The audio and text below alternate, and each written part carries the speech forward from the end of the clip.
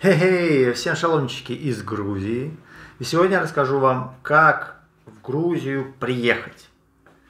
Какую сотового оператора выбрать, чтобы по телефону дешево звонить и пользоваться интернетом. Как сделать карточку банковскую. Если у вас э, загранник российский, это можно сделать в Грузии, спокойно пользоваться визой, мастер-карт, чем угодно. Ну, а если вы из Израиля, как я, то тем более, еще проще. Ну и в целом, как тут вот все вот эти бюрократические вопросы порешать для людей, которые сюда приехали ну, надолго, не знаю. Фишка в том, что в Грузию можно приехать на год. Вы это знали? На самом деле, на бесконечное количество времени можно приехать в Грузию. Вот ты израильтянин, или ты россиянин, белорус – в Грузии для всех таких стран хороших она сделала такую штуку. Безвизовый режим на год. То есть вы можете из Израиля в Грузию приехать на год. Никаких виз, никаких бумажек, никаких подач, ничего. Просто ты берешь, покупаешь билет, прилетаешь, тебе штампик ставят в загранпаспорте, и вот ты в Грузии можешь год быть. Тебе не надо нигде отмечаться, тебе не надо ни с кем встречаться, просто ты вот год можешь спокойно тут жить. Может тут заниматься бизнесом, что угодно делать. Тут, кстати, самая лучшая, наверное, одна из самых лучших в мире налоговых систем. 1% налоги. 1%. Ну, там, э, до определенного количества денег, огромного. То есть тут очень много людей приезжают заниматься бизнесом в Грузию сейчас, просто потому что тут очень выгодно. То есть таких мест практически в мире нет, где такие низкие налоги. Вот, так что вы можете приехать на год, но на самом деле даже на бесконечное количество лет я тут, я тут уже познакомился с многими людьми, которые живут в Грузии, и из России, из Израиля, и все делают что? Они просто периодически э, едут в Турцию или в Армению на полчасика, возвращаются обратно, и этот год обнуляется, называется виза ран. То есть, по сути, как бы вот этот год он у тебя есть, но практически не бывает такого, чтобы если ты выехал из Грузии и снова туда приехал, ну просто границу пересек, попил кофе там где-нибудь в Турции или в Армении, обратно потом прошел, и просто этот твой год, он заново начинает отчитываться. И тут все так делают, и люди тут покупают квартиры в Грузии, и вот так живут. У них нет ни вида на жительство, ничего. Тут на самом деле в Грузии единственная сложность – это получить вид на жительство и гражданство это вообще нереально сделать. Но именно как бы огромное количество людей, тысячи, десятки тысяч людей, они живут, у них тут квартиры, они делают вот это просто виза ран раз в год, пересекают границу туда-сюда и снова живут. И так вот уже там люди по 5, по 6 лет э, живут, даже, по, даже больше. То есть э, я видел просто много комментариев мне писали, что как попасть в Грузию, насколько там можно попасть. Можно попасть на год, но на самом деле на бесконечное количество времени. Все это большой плюс этой страны. Ну и еще плюс низкие налоги. В общем, и тут очень э, дешевые цены на все, э, очень супер минимальный э, уровень преступности. То есть это одна из самых безопасных стран в мире. Это, казалось бы, странно немножко, но это так. Тут полиция друг человека, тут очень безопасно, хорошо, в общем, дешево. Райское место вполне. Ну, есть, конечно, некоторые подводные камни, я про них расскажу в конце видео. А сейчас, как же сюда приехать? Ну, билет вы, я думаю, сможете купить как-нибудь, просто на сайте. Покупаешь билет, летишь. Да, а важный момент – это телефон. Значит, сейчас есть суперская штука. Я, когда был еще в Израиле, я уже сделал себе грузинский телефон. Каким образом? Есть такая штука, как eSIM, электронная SIM-карта. То есть мы привыкли, то, что мы симки покупаем, и вот такие маленькие квадратики в телефон себе вставляем. Сейчас уже новые телефоны все, ну даже дешевые, просто новые модели даже дешевых телефонов, они все поддерживают электронные симки. Что такое электронная симка? Это такая же, как бы вместо вот этого квадратика вы просто сканируете QR-код, и ваш телефон, он скачивает данные вот этой симки, она у вас просто в телефоне хранится, виртуальная. Это очень удобно. Таким образом, я, в Грузии есть основные два провайдера. Это Макти и Силком, ну это вот у которых хорошая как бы связь и интернет дешевый вообще. Вот, соответственно, вы выбираете, какой вам нравится, и Вы можете просто по интернету на сайте, вот в Макте, например, на сайте, будучи в Израиле, сделать себе электронную симку. Я так сделал, и я когда уже прилетел в Грузию, у меня сразу же был мой безлимитный интернет. Ну, он не совсем там, там есть безлимитный, он тоже стоит типа 30 шекелей в таком ключе. Короче, дешево. Ну, как бы по меркам Израиля тут дешевле интернет в два раза. Вот, а поэтому, ну, даже, наверное, больше, потому что тут он безлимитный. Тут он быстрый. Тут интернет быстрее, чем в Израиле. Тут везде 5G. Извините, но как бы вот у нас, где я жил в Израиле, на севере, я 5G ни разу не видел вообще. Тут он везде. То есть в Батуме. Ты вот гуляешь по Батуме, весь Батуми, он покрыт 5G. Вот я сейчас в нашей деревне хожу, тут я живу сейчас в деревне, тут везде 5G. То есть интернет тут летает, все шикарно. Вот, а, поэтому делайте себе виртуальную симку, а оплатить ее можно, опять же, израильской там картой, ну или как-нибудь там другой какой-нибудь картой. Не знаю насчет российских а, карточек, возможно, с этим могут быть какие-то сложности. Но вот если вы из России приезжаете в Грузию, то вы можете просто эту симку, опять же, ну, можно виртуальную, а можно реальную купить в аэропорту. В аэропорту симку вполне можно взять. Там это... В аэропорту, конечно, все дороже, но в плане сим, на симке, мне кажется, это не сильно распространяется. Но вот что нужно сделать в аэропорту, кстати, вот вы приехали в Грузию, что вам нужно сделать? Вам нужно в аэропорту поменять 10, ну, окей, 20 долларов. Не меняйте больше 20 долларов. Почему? Потому что очень плохой курс в аэропорту. Ну, то есть процентов на 30 хуже. Вы меняете 20 долларов, и вам этого вот так вот хватит, чтобы на местные деньги, на ларе, чтобы на такси поехать. Потому что ни в коем случае нельзя в Грузии ездить на такси без приложения. То есть тут есть приложение, ну тот же самый Яндекс, например. Тут есть несколько приложений. Я пользуюсь Яндексом, Яндекс.Го. И э, безумно дешевое такси. Оно тут дешевле, чем в Москве даже. Соответственно, вот я из аэропорта доехал до своего отеля на берегу моря в Батуми. И мне это стоило, я не помню, по-моему, 8 лари. Я, я слышал, что людей за 50 возят. Вот так вот, если ты просто без приложения, тебя, с тебя сдерут 50. А я доехал до, за 8. Разница как бы в разы. Вот, поэтому э, приезжая, имеет смысл поменять сразу доллары, ну или что-нибудь там, на рубли, там все меняют. Чуть-чуть совсем поменять, чтобы вам хватило на поездку на такси, ну и там, может быть, купить какую-нибудь булочку. Потом вы уже в городе по, по выгодному курсу, тут везде обмен, я столько в жизни обменников, как в Грузии, не видел нигде. Такое ощущение, что тут просто вот половину страны занимается тем, что меняет валюту. Удивительно. То есть тут очень много, очень хорошие курсы, просто замечательно, все хорошо. Окей, допустим, вы приехали, у вас уже есть сим-карта, вы уже довольный такой бурундук.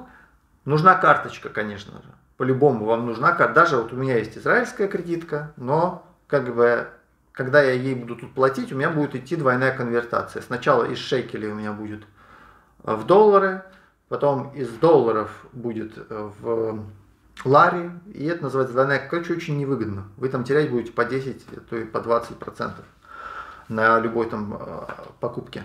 Поэтому нужно сделать местную карточку. Благо они тут дешевые. Эти карточки, они тут э, дешевле, чем в Израиле, например. Тут карточки, естественно, дебетовые. Но это и хорошо. Ну, это безопаснее гораздо, так что дебетовые карточки рулят. Есть несколько основных банков. Есть банк в Грузии, есть TBC, есть э, еще куча всяких, ну, да, штук, наверное, даже 6-7. Я, будучи в Израиле, тоже как умная Маша, решил, окей, можно же дистанционно сделать счет в банке. И я в Израиле заполнил анкету на сайте вот этого банка Грузии. Ну, мол, кто я, что я. Написал там все, отправил. Ну, мне отказали в открытии счета. Я не знаю, вряд ли это антисемитизм какой-нибудь. вот. вот. Просто там очень строгие, этот банк Грузии, там очень строгие у них критерии. И, наверное, я со своим э, таким доходом блогера, который не очень большой на самом деле, э, я им не подошел. Ну или может быть там какая-то бумажка не так. Короче, я плюнул на это. И когда я уже приехал э, в Грузию, я пошел просто в банк, Кредо банк, то есть прорекламирую, но его про него все знают. Это считается самый паршивый, самый ненадежный банк в Грузии. Но это все чушь. На самом деле этот банк хороший, потому что куча местных людей им пользуются.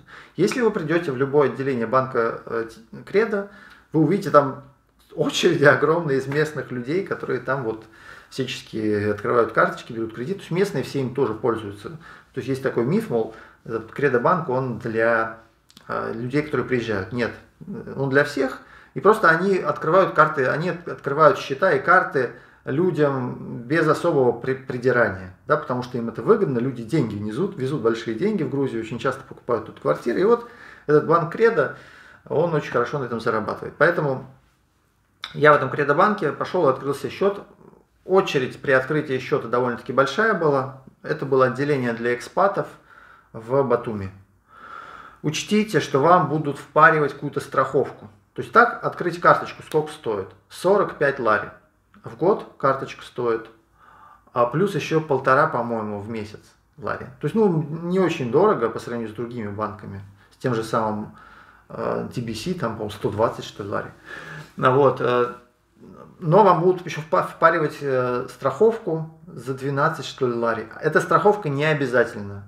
Вы скажите, что вы читали, что она не обязательна, потому что вам все равно будут ее впаривать. Ну, как бы вот они, видимо, на бонусах сидят сотрудники. Поэтому отказывайтесь от этих страховок, все это чушь. Просто сделайте себе карточку, она стоит 45 лари. Все. Больше вам ничего не надо. А, единственное, в этих э, отделениях, даже в отделении экспатов, ждать довольно-таки долго. Я там сидел где-то час, ждал очереди. Но тут лайфхак такой. А, на самом деле идти в банк, ну вот, потом я приехал вот сейчас в маленькой деревне я живу, и тут тоже есть этот кредобанк, представьте себе. И вот когда я туда пришел, Кредобанк в моей маленькой деревне. Ну, как раз я хотел уточнить вопрос с этой комиссией. А, ну, за страховку. Потому что там у них какой-то сбой случился в этом банке, и они эту страховку несколько раз сняли. Ну, потом все исправили, все хорошо. То есть у всех так было. И вот я пришел спросить и взял талончик, сижу, жду. Ждал целый час. Потом, когда дошел до сотрудника, оказалось, что у них вот во всех обычных банках Кредо, у них есть специальный человек, который работает э, с экспатами, с, с русскоязычными, и к нему вообще очереди никакой нет. То есть если вы приходите в банк, любой, неважно, Кредо, э, Банк Грузии, не берите просто бездумно талончик. Э, дождитесь, чтобы подошел к вам сотрудник или у сотрудника спросите, типа вот я хочу то-то сделать, и он вас, потому что возможно у вас вообще не будет очереди. То есть у меня вот где я живу, тут очереди вообще нет для экспатов. Местные стоят в очереди по, там, по часу, а там специально есть сотрудник для вот таких вот приезжих. Ну, потому что это такая как бы привилегированная категория считается. То, что деньги большие привозят в Грузию все. Ну, по меркам Грузии тут все-таки зарплаты не очень высокие у местных людей, но зато очень низкие цены. Тут в целом люди достойно живут, хорошо. Вот, так что так вот таким образом я открыл карточку и пользуюсь. Она работает, там сразу же можно открыть счет в четырех валютах Э, в долларах, в евро, в ларе, там, во всем. И все, и работают свифты, все работает. Так что можете пользоваться. Но прежде чем любой там свифт отправлять, лучше узнайте, потому что у них иногда они почему-то перестают работать, потом снова начинают работать. Все это уточняйте. Есть э, телеграм-канал в поддержке э, у этого банка. Ну, у каждого банка, в общем, Кредобанк, он такой, конечно, я ничего не хочу сказать, он э, специфический, у них действительно много всяких глюков бывает, но он работает, и все местные им пользуются. Так что, по крайней мере, ну, доверие к нему есть какое-то. Вот. Эм, дальше. Закончить чем я хочу. Ну, то есть вы как бы вот вы уже приехали жилье, жилье снимать, да, тоже это важный момент. Про жилье хочу сказать. Я правильно про жилье отдельно сниму большое видео, потому что я уже собаку на этом съел, я уже тут попереезжать, попереезжать успел и с разными ситуациями сталкивался. Но вот вкратце в целом скажу, что если вы приезжаете в Грузию, берите себе на Airbnb на неделю какую-то квартиру, ну, что-то, что вам нужно, что вам понравится на Airbnb, потому что Airbnb вам, если что-то какой-то косяк, они вас оперативно переселят куда-то и восстановят вам деньги. В общем, Airbnb это так, вы там чуть-чуть больше платите, совсем чуть-чуть. Зато у вас будет страховка против недобросовестных э, квартиросдателей. У меня было несколько ситуаций, когда мне приходилось возвращать деньги. Ну, то есть мне возвращали деньги. Когда я приезжаю, например, а в квартире нет света. Три дня. Вот я сижу там, как бы, получается, я потерял деньги. В итоге я, мне вернули деньги и еще нашли мне жилье. Я туда переехал. Так что Airbnb рулит. Но там дороже немножко, точнее сильно дороже на самом деле, по сравнению с теми ценами, на которых вы тут можете снимать. В Грузии цены на квартиры в три раза дешевле на аренду, чем в Израиле. Ну, вот я с Израилем сравниваю. Тут можно снять студию за 150 долларов. Все про все. А, ну, конечно, это зависит сильно от отопления, например. Да, где-то там включено, где-то не включено вот эти коммуналка. Но в целом тут, я говорю, э, в Израиле я снимал за 600 долларов жилье, все включено. Тут такое можно снимать за 200-250. Ну вот, как бы, в принципе, такое же. Ну вот, сейчас я снимаю, например, квартиру за 300 долларов. Вот где я сейчас живу, это офигенная такая студия, красивая, европейская, абсолютно новый ремонт, 300 э, баксов. И это посуточно я снимаю. Это не долгосрок. Долгосрок я такую сниму за 200. Почему за 200? Потому что тут нет э, отопления. Самое важное, значит, э, в Грузии, если вы снимаете квартиру зимой, снимайте квартиру с двухконтурным котлом. Это называется центральное отопление. Очень часто в объявлениях э, по сдаче жилья написано центральное отопление.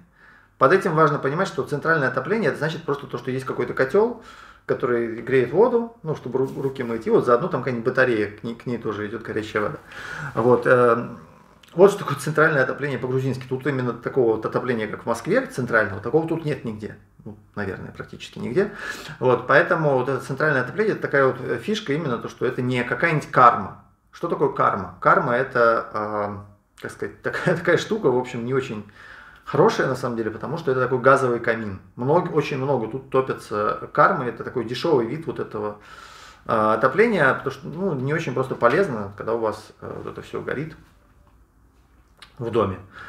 Эм, короче, можно тоже, с ним дешевле, оно дешевле. Кто-то тут умудряется на кондиционере э, зимой вытопить.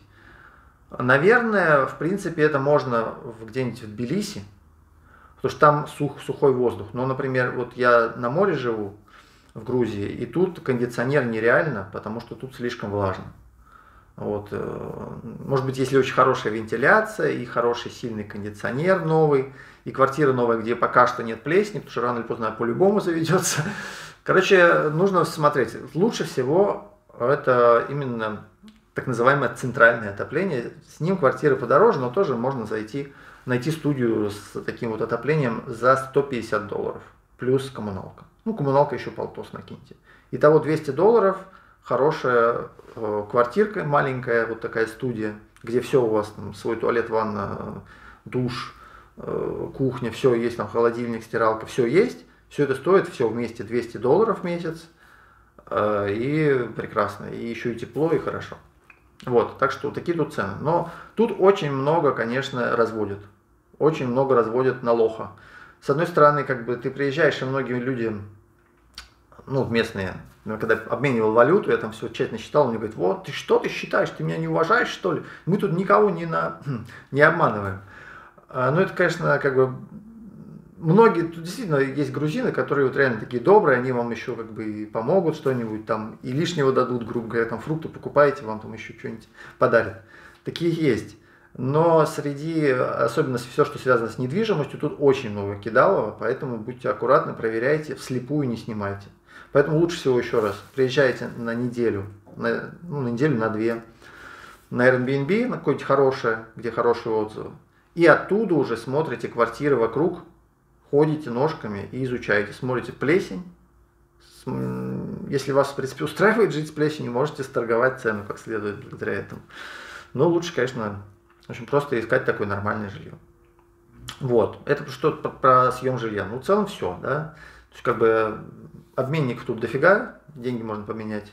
Карточку вот вы сделали, у вас есть телефон. Что еще штукенцы у нас? Ну, в какой город ехать? В какой город ехать? Смотрите, Грузия делится на две части. Западная часть около моря. Это где вот город Батуми, э, Поти, Поти такой портовый город, Батуми это такой туристический город с небоскребами. Ну и тут есть маленькие деревушки.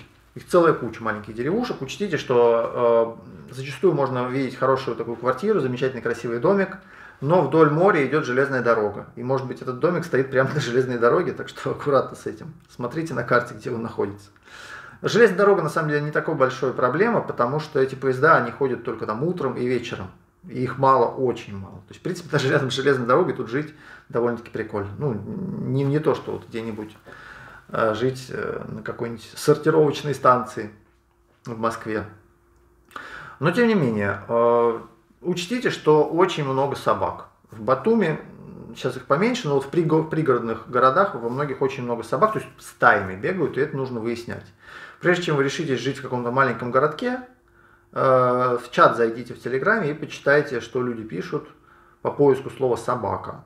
Вот, возможно, там бегают стаи, и там люди мучаются с этим и, в общем, выживают боятся выйти из дома. Я такие как бы места встречал. И сейчас живу в таком месте. В принципе, тут вот реально как бы, многие местные люди, они из дома выходят быстро в магазин как-нибудь, а уезжать, а отдыхать ездят куда-нибудь в Батуми, потому что вот тут вот в городе, где я живу, тут слишком много собак, э, ну и многим просто страшно гулять. Серьезно говорю, вот как бы вот правда, это не шутка, это я не, не придумываю. Ну, я как бы, так как мы со штукенцы, такие боевые ребята, мы только что из-под ракет уехали израильских, поэтому мы нормально нам с собаками. Хотя, конечно, риск, то, что укусят, есть, потому что их тут много, и они в стаях. Вот, э, это главный минус Грузии для меня. Единственный минус Грузии – это огромное количество собак. Они не везде есть. Например, в Батуме собак практически нет по сравнению с тем, что вот мы видим в нашем маленьком городке. Ну. А в, в Тбилиси много собак. Ну что такое много собак? Люди пишут, что в Батуме много собак. Но я жил в Батуме две недели, там собак практически нет. По сравнению с тем, что вот я вижу тут. Так что все очень так индивидуально. Возможно, их собирают и вывозят куда-нибудь, вот где я живу, например, сюда. Не знаю. Ходят такие слухи. Поэтому, э, ну вот учтите, изучайте места. Соответственно, окей, есть прибрежная Грузия, около моря, и тут очень влажно. Лето тут э, такое прям хорошее, люди приезжают, купаются, да, но вот именно зима, тут она теплее, чем в восточной части Грузии. То есть западная часть Грузии, где море, тут э, зимой очень влажно, но бывает даже плюс 15 или плюс 18 зимой в декабре. Но очень влажно, и порой может быть 0, а 0 плюс э, стопроцентная влажность, какой-нибудь шторм, вы очень сильно замерзнете. Поэтому тут важно особенно снимать с э, вот этим центральным отоплением. И есть Восточная Грузия, там где Тбилиси. Там где Горе, Тбилиси и вот все остальное. И там очень сухая зима. Прохладная такая, там часто ноль, может быть и снег вполне такой серьезный. А, но там соответственно, сухо, там не бывает дождей, поэтому там гораздо приятнее гулять. Тут гулять вы будете под дождем. Тут э, вот около моря, если жить, вот в западной части Грузии, там даже не по морю, там как бы есть горный хребет в середине Грузии. И все, что вот с левой стороны горного хребта на, на западе, оно все вот в дождях зимой. А дождь идет 50 на 50. День идет, день не идет. День идет, день не идет. Может быть, допустим, неделя дождь, дожди подряд, потом неделя солнышко. Вот так. Я как-то уже привык к этим дождям. Все почти месяц уже в Грузии, а вот как раз в приморской части. Почти привык, поэтому для меня как бы нормально. Я дождевик, можно купить резиновые сапоги, гулять. Тут море красиво. Но тут проблема с собаками, конечно, серьезная, потому что я, ну, не знаю. Я не, не то чтобы их боюсь, то есть мне они даже нравится, это весело, но Просто их слишком, я столько много никогда не видел. То есть это какой-то какой какой зверинец, какой-то зоопарк. Рано или поздно они покусают кого-нибудь. Надеюсь, не меня. Вот, поэтому я не знаю, мне тут оставаться, может, я поеду все-таки куда-нибудь подальше, куда-нибудь в центр, в Тбилиси, посмотрим. Ну вот, в целом, это вот где э, найти себе жилье. Выбирайте по климату и по собакам. Вопросы? Сейчас будут еще. А, ну, вообще, если ты э, ну, ты рекомендуешь из Израиля, например, или из других стран приезжать именно в Грузию? Э, да, Грузия. Я рекомендую Грузию всем приехать, посмотреть. Это очень дешевое место, э, в котором нет абсолютной дискриминации, тут всем рады. То есть то, что вы там может, наслышали про русофобию, все это чушь, по крайней мере, вот еще раз, в будем говорить, западной прибрежной Грузии я такого ни разу не встречал никакой дискриминации. А в Тбилиси я слышу, там что-то такое есть. Ну, мне кажется, как бы везде есть молодежь, которая вот такая неадекватная. То есть люди зрелые, люди там за 30, они все ровные и понимают, что как бы все люди разные во всех странах. И под одну гребенку кого-то грести – это глупость. Поэтому тут очень хорошо, ровно к тебе относятся комфортно. Самая вкусная еда. То есть продукты в Грузии просто бесподобные. Только надо же стараться их покупать именно в каких-нибудь, э, ну, на рынке, там они прям вообще вкусные, потому что они с местных грядок. То есть э, я таких вкусных овощей никогда в жизни не ел. Просто как бы, ну и овощи, и фрукты, и виноград, и все это очень дешево. То есть тут просто ну, продукты тупо дешевле в три раза, чем в Израиле. Ну именно то, что вот растет из земли.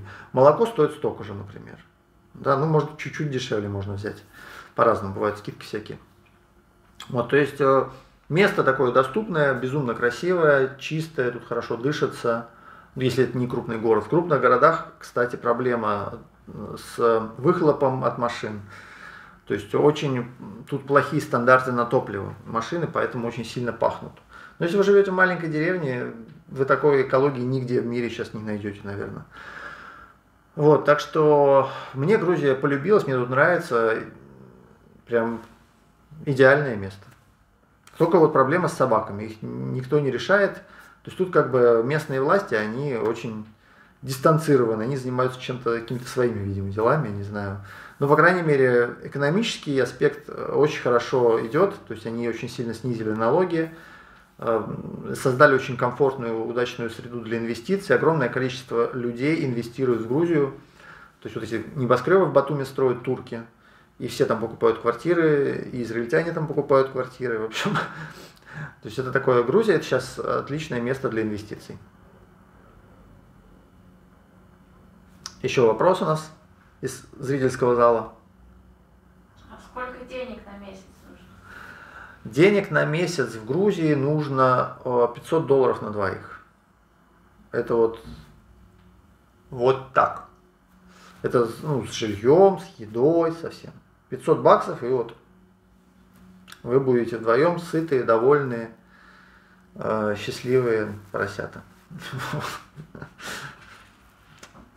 Друзья, Пишите свои комментарии, спрашивайте. Я буду рад вам подробно ответить, рассказать про всякие другие хитрости. Подписывайтесь на канал. Буду ждать ваших мыслей. Целую ваши мысли.